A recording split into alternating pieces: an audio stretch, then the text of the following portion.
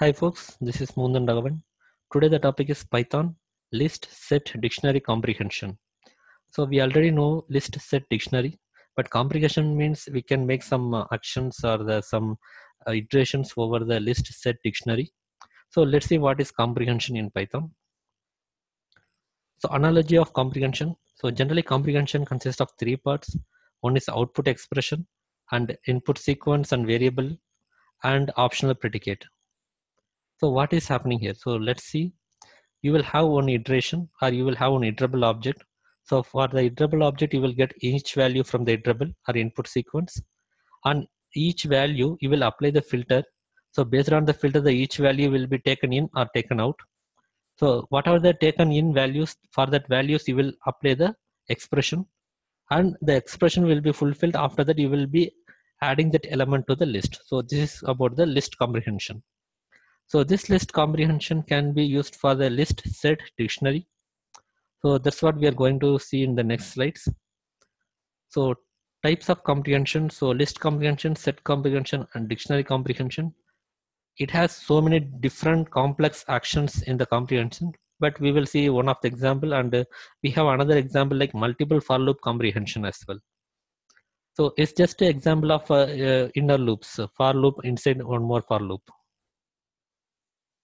So let's get into the demo.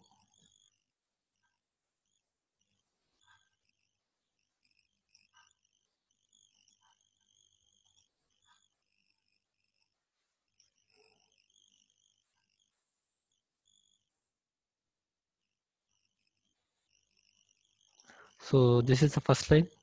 So number list, I'm going to create a own list.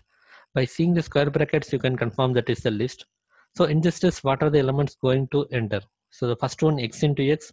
So somewhere I'm getting the x. So I'm multiplying with the same x. So that's what my input. And let's say x where I'm going to get is uh, for x in range 10.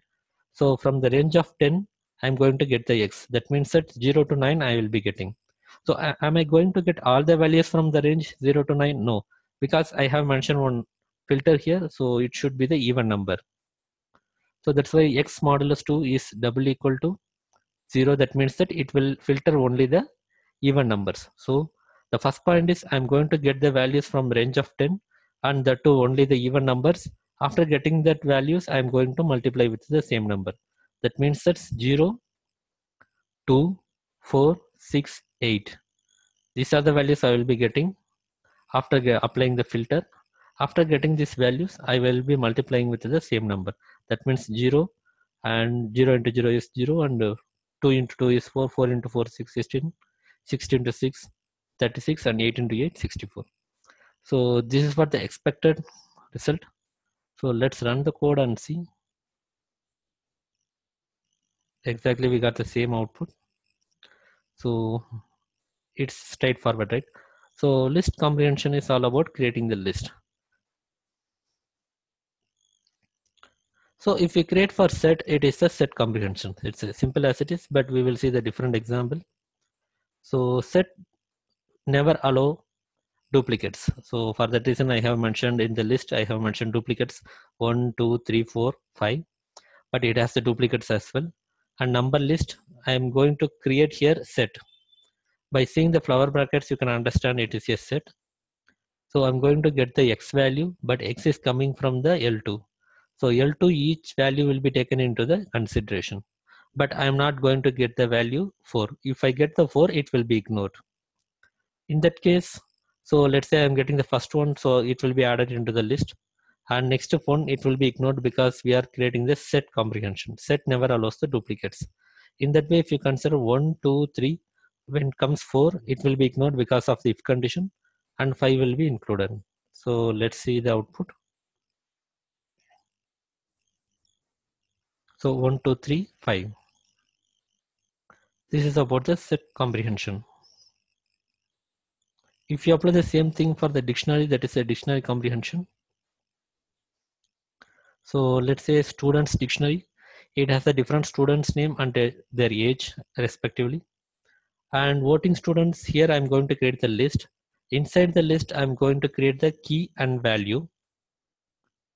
So let's consider key and value where I'm going to get the key and value. So I'm getting the key value from the students dot items. That means that from the dictionary object, I'm going to get the key and value respectively. So am I going to get all the key and value? No, because I have mentioned the if condition here. It means that the value which has greater than 18, those values will be taken. So whenever this condition satisfies for that condition, I will be getting the key and value and I will be adding to the list. So here I'm going to add the key value.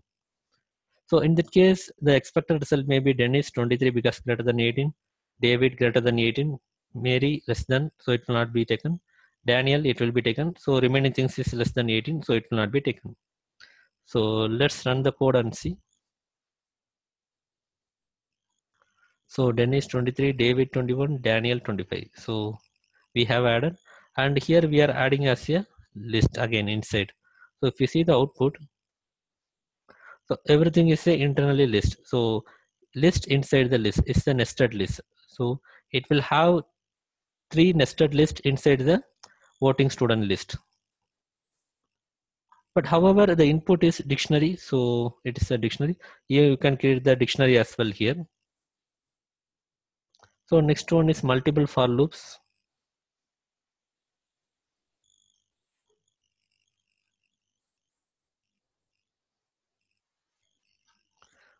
So I'm going to get the V1 and V2. So what I'm going to do is for V1 in the list of 1, 2, 3, 4, 5 and for V2 I'm going to get the A, B, C, D, E. So that means that V1 will be taken for V1, I mean V1 from the first loop. So one will be taken and it will be considering all the V2 objects. Second one, 2 will be taken, then it will be taken all the V2 objects that means a b c d e each value. So what i mean to say is let's say 1 a 1 b 1 c 1 d 1 e. After completing this loop it will be starting with the 2 so 2 a 2 b 2 c 2 d 2 e. So it is like a internal in i mean inside internal for loops two loops inside that. So expected result we have seen how it will be. So let's execute this code and see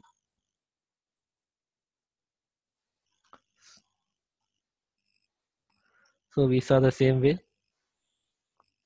1A, 1B, 1C, 1D, 1E. After completing that loop, uh, first outer loop will be increasing. So 2, again it will be starting with the inner loop. After completing the 2, it will be incrementing the outer loop. So 3.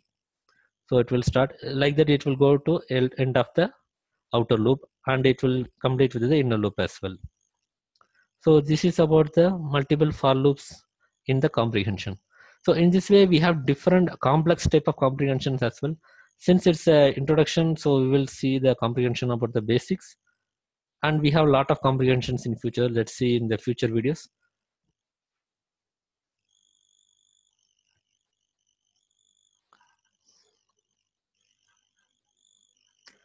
So lead without a title. So you never always expect a title because uh, when we get the title we will be making i mean we will feel ourselves as a leader but there is no title is required. So without title if you became a leader then you will be the always a leader.